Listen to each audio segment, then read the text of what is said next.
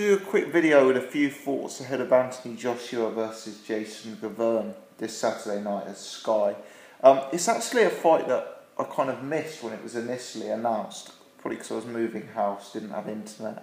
Um, so I'm coming to this slightly late in the day. First and foremost, I want to know what's happened to the Joshua Kevin Johnson fight. I understand those two were initially scheduled to fight at the O2 on April the 25th.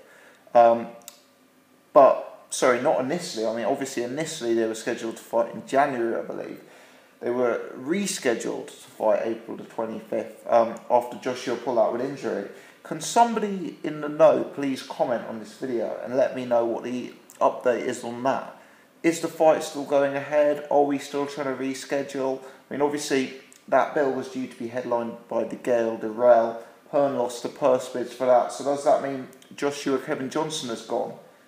If that is the case, I'm very, very disappointed.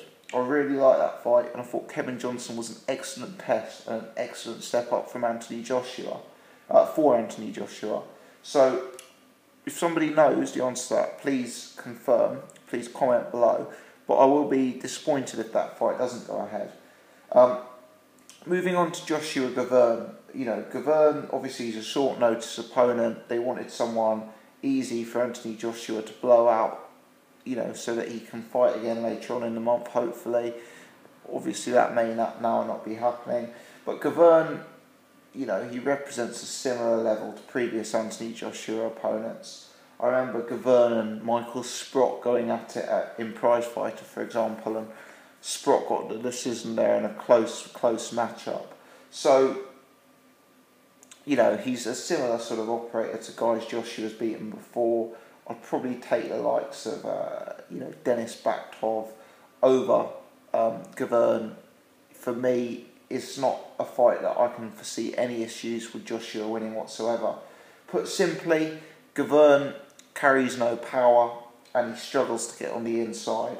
Uh, I've seen him fight tall fighters before, guys like Deontay Wilder, for example. I watched that fight and he was just not able to get inside the Wilder jab he was not able to land anything meaningful at all on Wilder.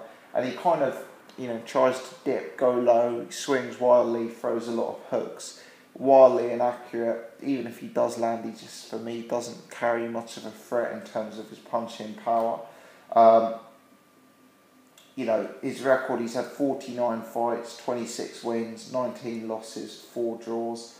Of his 26 wins, only 11 have come by KO, which is another indication of uh, a lack of power. And I just think he's really going to struggle to deal with the Anthony Joshua size, with the Anthony Joshua jab.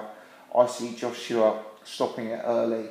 With regard to Gavern's record, um, he gives some indication that he has the potential to be durable.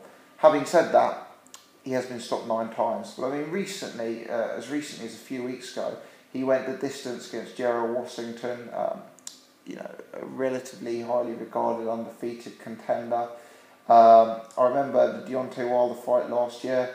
Gavern was dropped multiple times, but eventually quit on his stool after four rounds. Uh, at that point, he probably took Deontay Wilder further than any other Wilder opponents. So, yeah, I mean, fair play to Gavern. There are indications that he can be durable. Having said that, you know, we've also seen him. Uh, I was just flicking down his BoxRec. I remember Lucas Browne stopped him early. I'm just checking. Lucas Browne uh, stopped him in three.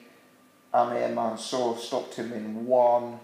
You know, clearly he can be knocked out. And I think with Joshua's aggression, with the pace Joshua fights at, and with that jab, Gavern's not going to have any game at all, and it's going to be a very, very easy night for Joshua.